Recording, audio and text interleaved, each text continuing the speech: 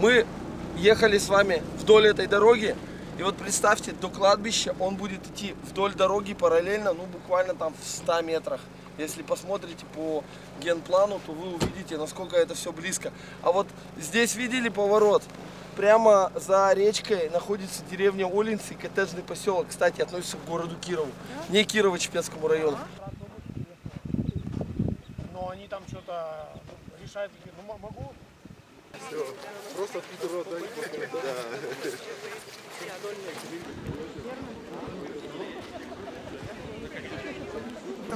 Все против. Не работают, все.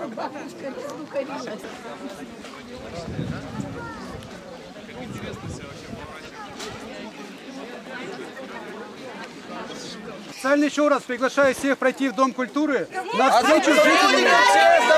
Тихо, тихо, давайте не будем. МЧС запретил! Хорошо, э, жители деревни Лубягина, поднимите руку, где вы? да мы все здесь. Вот, прошу вас в Дом культуры. Все жители! Войдем, проходите. Извините, вы Проходите когда готовили презентацию, вы рассчитывали на такое? Вы сюда. официальное место проведения Дом культуры и другого места быть не может. Оформите нам, сделайте площадку. Вместе со своим В ваших силах. Палатку поставьте большую, обогрейте. Это была ваша обязанность. Вы должны были подумать об не кричите, этом. не кричите. Проходите спокойно, давайте не будем ругаться. Мы уже сколько вас ждем? Дом культуры.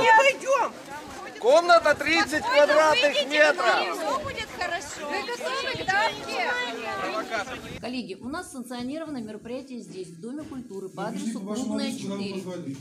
Вас, я попрошу полицию, чтобы вас вывели, потому что вы, переби- вы перебиваете и не даете говорить. В результате указанных действий органов власти на публичное слушание якобы пришли всего пять человек, которые не высказали никаких замечаний по поводу принимаемых решений.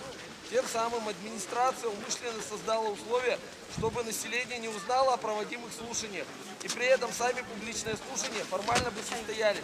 Отметим, что в протоколе публичных слушаний не указаны ни фамилии присутствующих, ни адреса. Это наш министр.